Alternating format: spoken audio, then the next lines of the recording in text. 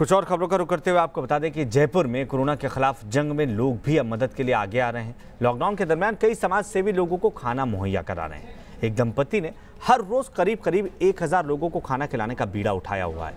Police भी इस काम में उनकी मदद कर रही है।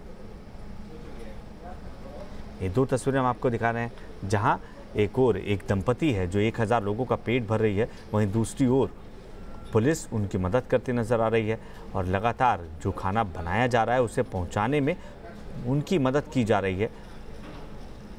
लॉकडाउन में फंसे लोगों को किस तरह समाज सेवी मदद कर रहे हैं? हमारे सहयोगी लाल सिंह फौजदार की इस रिपोर्ट में देखिए। कोरोना की इस जंग को जीतने के लिए दो स्तरों पर युद्ध लड़ा जा रहा है। एक हमारे वो कोरोना वॉरियर्स हैं जो सीधे फाइट कर रहे हैं। डॉक्टर्स हैं, मेडिकल स्टाफ है, पुलिसकर्मी हैं, लेकिन इसके साथ ही लॉकडाउन के चलते जो हालात बने हैं, लोगों को रोजी रोटी से हाथ धोना पड़ा है। आलम यह है, कई जगह भूखे मरने तक की नौबत इस देश में पैदा हो रही है। और इन दिनों ये भी तस्वीर कई जगह देखने को मिल रही है कि लंबे जो मजदूर हैं, वो अपने घर वापसी की चाह में निकल पड़े हैं। ऐसे में उनको कई जगह भूखे रहना पड़ता है। लेकिन फ़िलहाल हम एक आपको जयपुर की बहुत ही शकून भरी तस्वीर दिखा रहे हैं कि यहाँ तमाम समाज आगे आए हैं। और मकसद ये है कि लॉकडाउन के दौरान जिन भी प्रवासियों को, मज़दूरों को, गरीबों को दिक्कतें आ रही हैं, उनको कम से कम भोजन का इंतज़ाम कराया जा सके। फ़िलहाल ये जो पूरी रसोई आप देख रहे हैं, पूरी स्वच्छता का ध्यान रखा जा रहा है, साफ़ सफ़ाई का पूरा ध्यान रखा जा रहा है। यहाँ तक कि सोशल डिस्टेंसिंग, खाना बनाने के दौरान भी पूरी तरह से पालन की जा रही है। और किस तरह कितने लोगों को खाना दिया जाता है, मेरे साथ विमल सराफ हैं, उनसे बात करते हैं।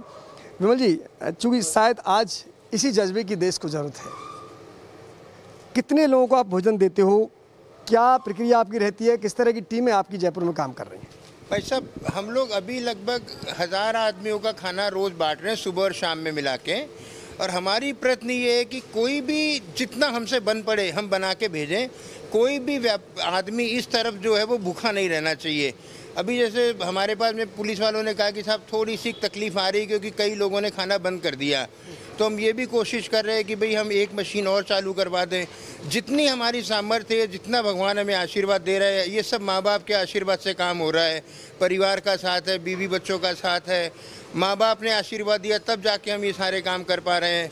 आ, मेरे साथ संजीव भी जुड़ गए हैं क्योंकि पहली बार ऐसा दृश्य देखने को मिला इस देश में जब पुलिस ने अपनी वर्दी के साथ साथ सामाजिक सरोकार से जुड़े तमाम कामों को अंजाम दिया।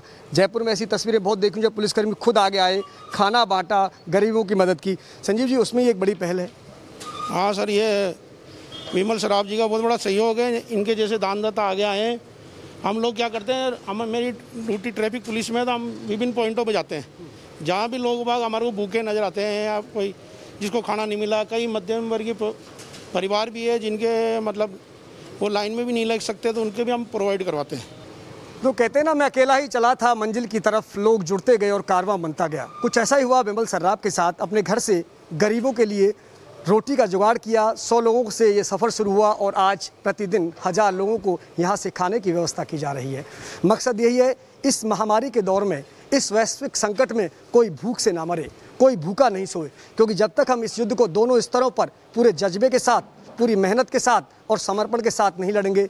जंग जीतना मुश्किल है। लेकिन ये जज्बा जब तक है, तय मानिए हिंदुस्तान कोरोना की जंग को ज़रूर जीतेगा। वीडियो जर्नलिस्ट महेश शर्मा के साथ लाल सिंह फौजदार, न्यूज़ नेशन, जयपुर।